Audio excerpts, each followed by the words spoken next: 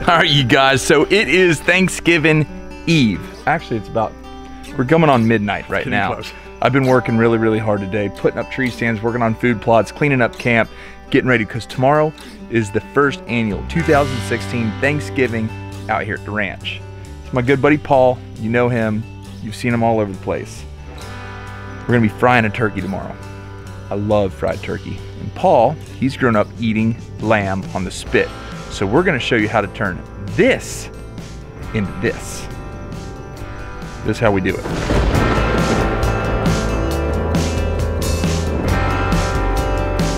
What I've done is taken garlic, fresh whole cloves of garlic, and basically cut them in half. It's important to cut them in half because you release all the flavor. And what we're going to do is we're going to take not too sharp a knife, but a nice little knife like this, and we're going to look for spots. The most obvious spot under an armpit. You're looking for little gaps between the muscle where you can make a little incision, and you just that's it. Hide that little piece of garlic.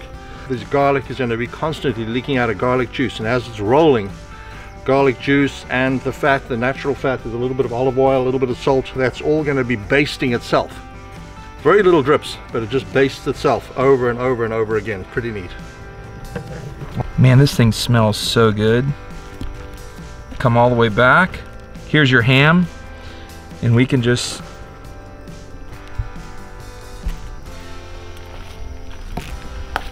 making little pockets for our garlic cloves. And they just hide right in there, just like that. And it's important to keep the garlic cloves whole, well, halved, not crushed. Don't crush them with a knife. It's a lot, e lot easier to get it in there. Right. I was asking Paul because this is the first time I've ever done this. I was asking him, why don't you crush it? And now, clearly, it's so much easier to do it without crushing it because you actually need it to have a little rigidity and it just slides up in there. And if it won't go, get you a smaller piece. Look at that. Now, fresh rosemary. What do we do with that? Straight out of the garden. Wash it. Once it's washed, we're going to try and find areas. I, I like to typically just cut it in half. That's, you know, that's a manageable size, basically. Nice piece.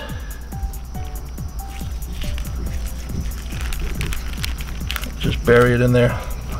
That one actually completely, almost completely hides itself. So we're just looking for spots. Anywhere where you think, and there's no set rule here.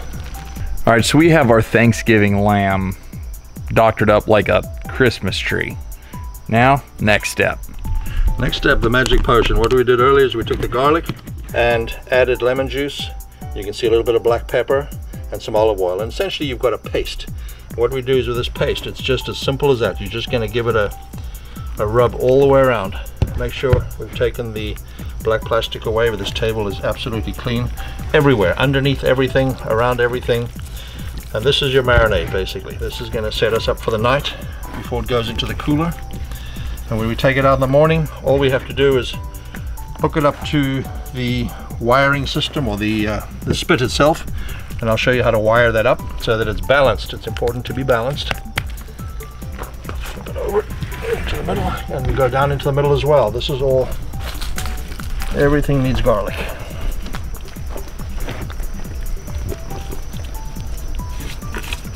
Now, kosher salt.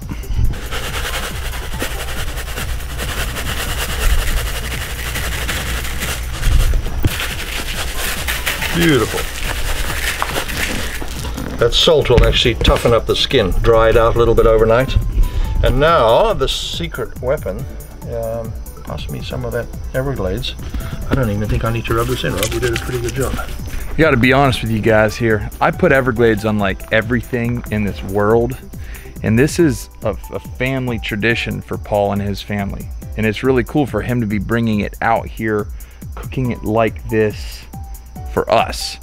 And I was like, we gotta put Everglades on it. And he was very, very reluctant. So I'm gonna leave it up to him. If he wants to put Everglades on it, he can. If not, we're gonna taste it the way he does.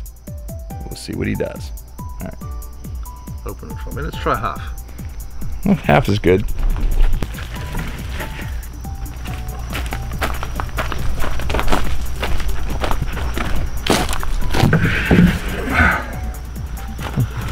and I've got some ice packs that are. You guys, this Paul does own Engel coolers, and as he says, come on, Rob, cooler box. You. Pleased to meet you. yeah, he says cooler box. What ice size box. cooler? What size is that? That's a 320. As big as we make it. That's pretty cool. So if you're deer hunting or hog hunting or traveling out west, You can see that. There's a there's lot a of room. ton of room. Ton of room. You did good. Oh. Hey, you guys! Shout out to the uh, bus in the background there. And next time you see us, it'll be what 4:30 a.m. and Yeah, it's like 20 minutes from now.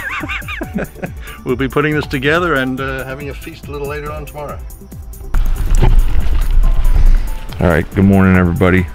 We just had our two-hour nap. Now it's 4:30 a.m. and we're uh, we're gonna withdraw the lamb out of its resting place. Oh, look how crusty it got.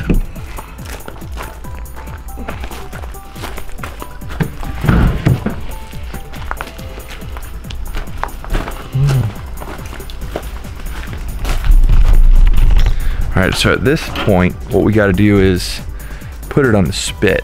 And according to Paul, you've got to make it level on the spit. Otherwise, when it rolls, it's like. So you got to make it level. And if I don't make any sense, it's because I basically am not even awake yet.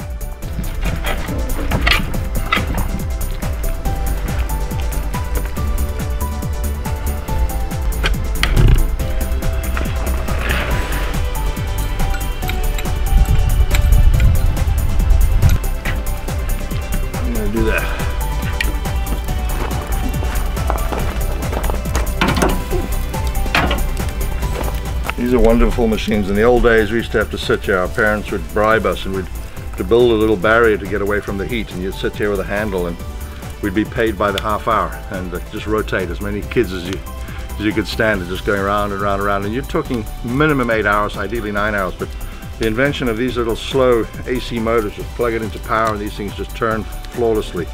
Uh, awesome machine, absolutely awesome.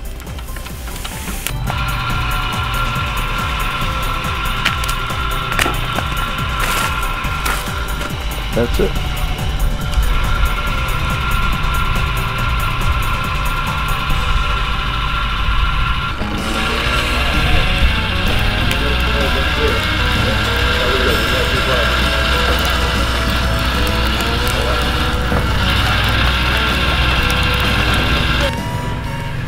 Well, this is your noontime update. It's been cooking now for about six or seven hours. Smelling absolutely delicious. There's there's baby Ari and Sarah. They're vlogging for dear mom. But everyone's starting to show up. It's Gonna be a great day. Got so much to be thankful for. So much. All right, y'all. All the hard work is starting to pay off. It's getting nice and charred. You can see the separation. You can see all the garlic just rolling out. Look at that. Rosemary. See the separation in the meat. Ooh. Things are going so good out here. Check this out. That's my fried turkey. He's like 17 and a half pounds, three and a half minutes per pound. Oil's at 325 degrees, so basically it's an hour cook time. And I stuffed him with bacon. That can't be a bad thing. There he is, y'all. The Burrito Mas Grande. Women are talking about white teeth. My teeth are so sensitive. And I'm like, no, wait, no. Everyone's out here. how to play football? Do you know how to throw a football? Well, Come on, let's try. it's only five minutes. That's what it's all about, y'all. We're out here having us a great time. Look at our look at our lamb. Ready? Ready when you are. Let's do it. Alrighty, grab grab that. Hold on. This is hot. Whoa! Grab it in the middle. Yeah, grab it in the middle. There we go. Almost dropped it in the pot in the Line it up there. Maybe just put it like that for now.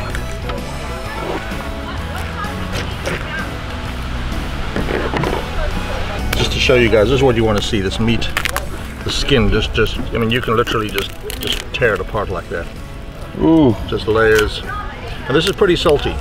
yeah. The outside layers, it's Tell pretty me about salty. it. It's dried out, it's salty, but honestly, this is, this is what it's all about. For me personally, cooking. Mmm. You know, you got these fancy knives, but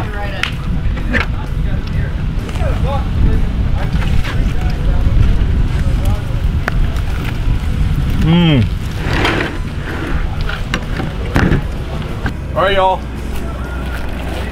It's been exactly one hour. Look at that. I stuffed it with, with bacon.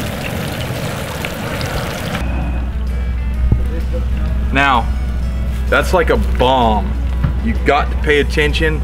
Make sure the kids don't run into this because although the fire's off, that could still cause catastrophic damage. And the other thing on that grease, so the other thing on the grease, never pour this grease down your drain. It goes down your drain, it hardens in the sewer system, and it causes huge problems. Never ever pour grease down your drain. Pour it in the trash or recycle it. That's coming from Brito Mas Grande. Life ain't crappy. He makes money turning turds into cash, folks. hey, someone's got to take care of sanitation. yeah, yeah. So what what do you do? Uh, not much. He's a man of few words, y'all.